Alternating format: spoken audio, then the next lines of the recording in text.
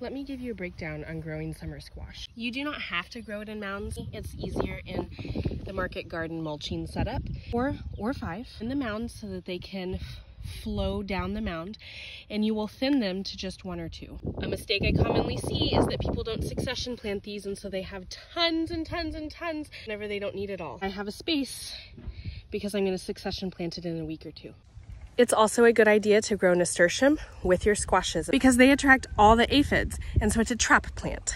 Nasturtium are also edible, both the flowers and the leaves. The leaves are way more peppery than the flowers are. Don't forget that squashes have male and female parts and that's how the pollination and fruit grows. Borage seeds are also a good idea to plant around your summer squashes. It will help pollinators do it.